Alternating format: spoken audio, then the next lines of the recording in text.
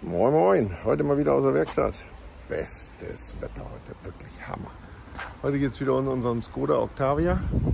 Und zwar haben wir da vorne rechts ein defektes Radlager. Und da haben wir hier so eine Narbe mit Radlager drin. Und die wollen wir jetzt erneuern. Jo, alles weitere zeige ich euch nach dem Intro. Ne?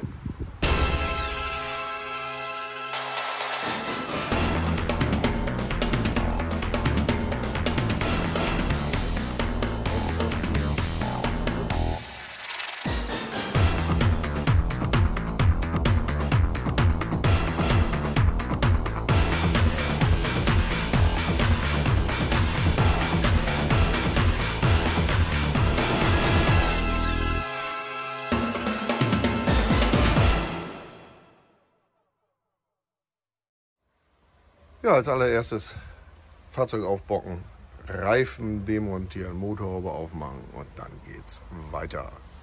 Aufgebockt, Rad abmontiert, Motorhaube auf, obwohl die brauche ich wahrscheinlich gar nicht auf, aber naja gut.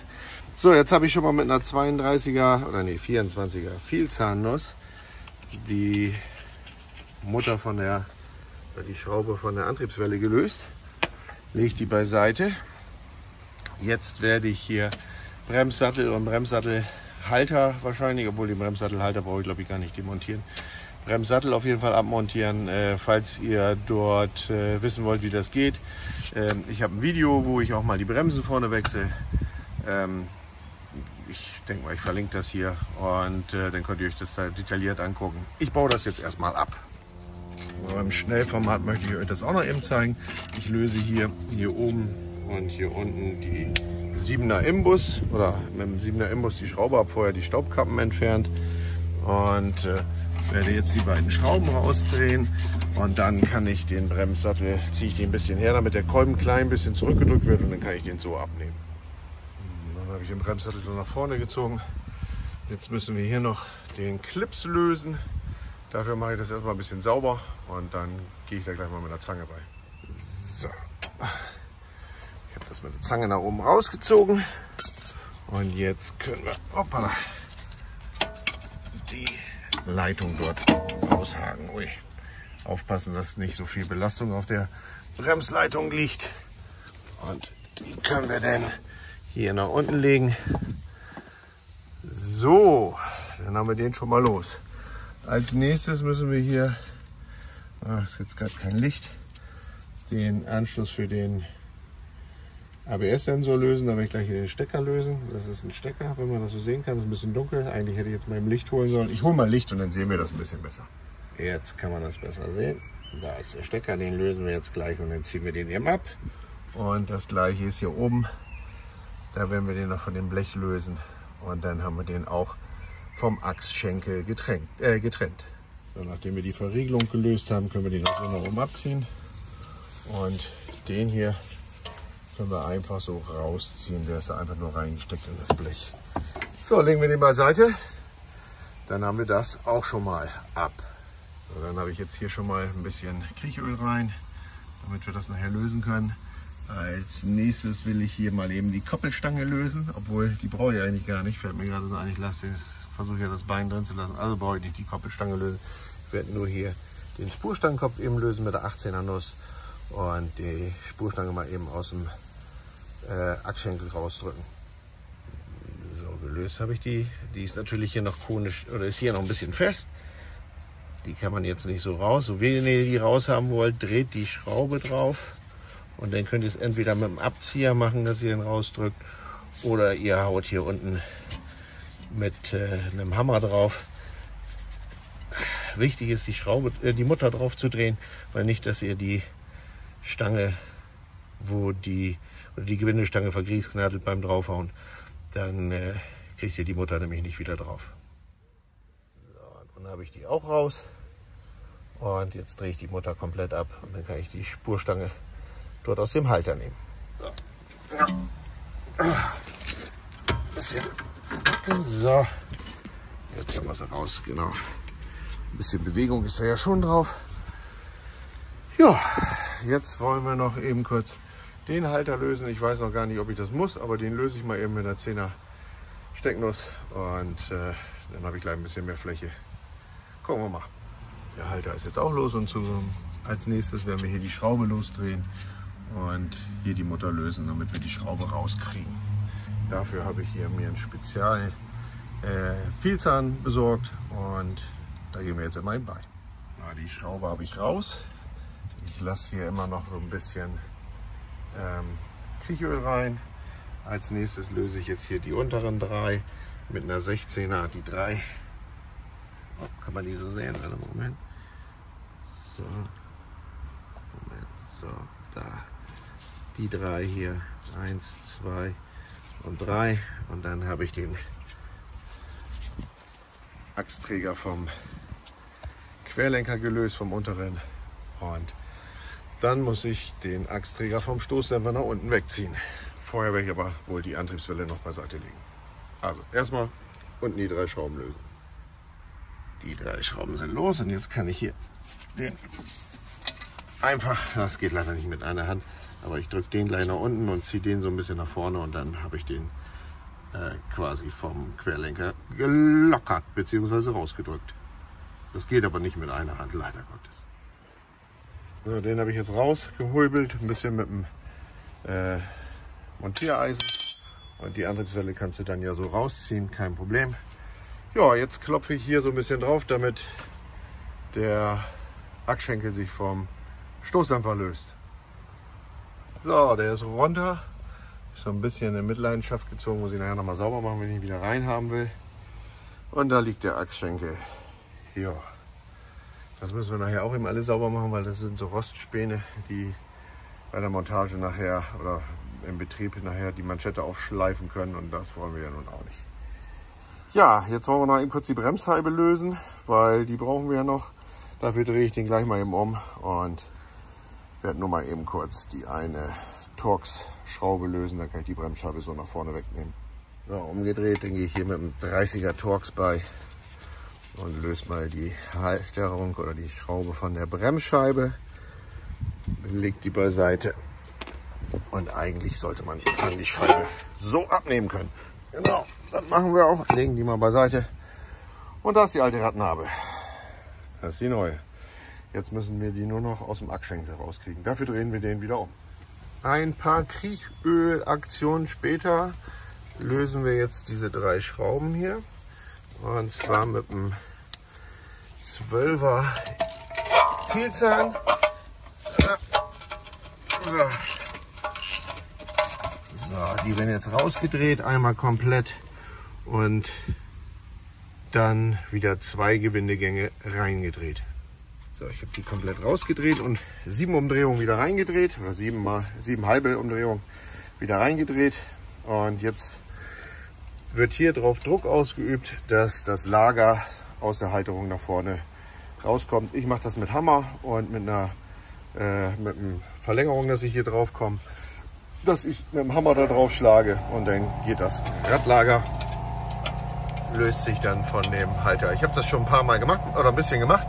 Man sieht, da ist auch schon ein kleiner Schlitz. Und äh, wie gesagt, ich klopfe hier noch ein paar Mal drauf und dann ist irgendwann das Radlager raus. So, nun habe ich die rausgedrückt. Ich weiß gar nicht, kann man das sehen? Da ist es so gut wie raus, das Lager. Ich löse jetzt hier nochmal die letzten Schrauben. Die drei Schrauben, damit, die, damit das Lager nicht mehr fest sitzt. So.